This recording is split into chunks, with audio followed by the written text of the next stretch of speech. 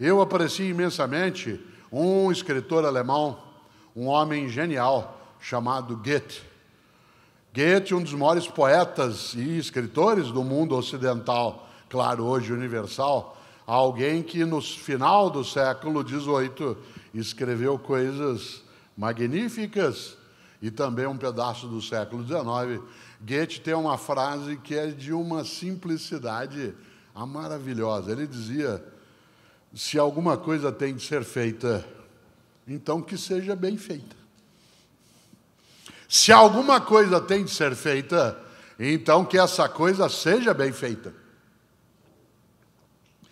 Ah, mas para quê? Eu vou fazer mesmo, dá para o gasto. Cautela. Quando você e eu esquecemos isso, a gente perde o capricho. A gente faz as coisas sem notar como eu agora, que derrubei água na camisa, e que poderia não ser água, poderia ser alguma coisa que fizesse mal à camisa, e eu fiz por distração.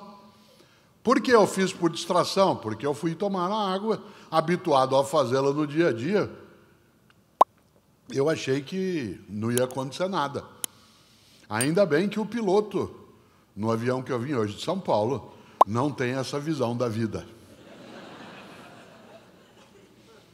Tanto que todas as vezes que antes a gente encontrava o piloto ou a pilota na porta do avião, eu dizia assim: Você tem medo de avião?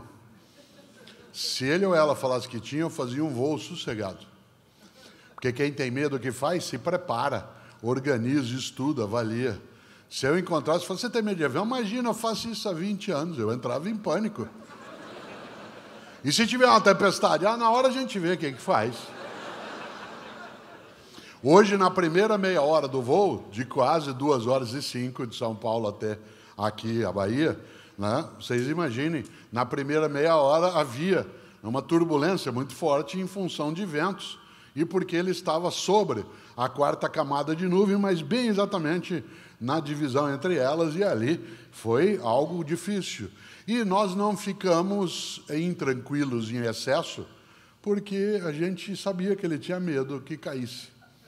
E por isso ele tomava providência. E por isso ele, quando foi fazer o curso dele, é provável que ele não tivesse mandado alguém no lugar dele e pedido para assinar a lista. Ainda bem.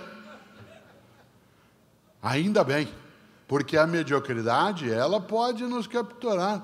Ah, pode deixar o seu que eu faço. Perigo. A arrogância nos atropela e a mediocridade também. A arrogância, nós lembramos, por exemplo, no clássico acidente do Titanic. O Titanic foi considerado pela engenharia da época inafundável. O maior daqueles e que se anunciou é impossível afundar. Está no fundo do mar até hoje. Isso significa o quê? Que nós temos de tomar cuidado com a nossa arrogância.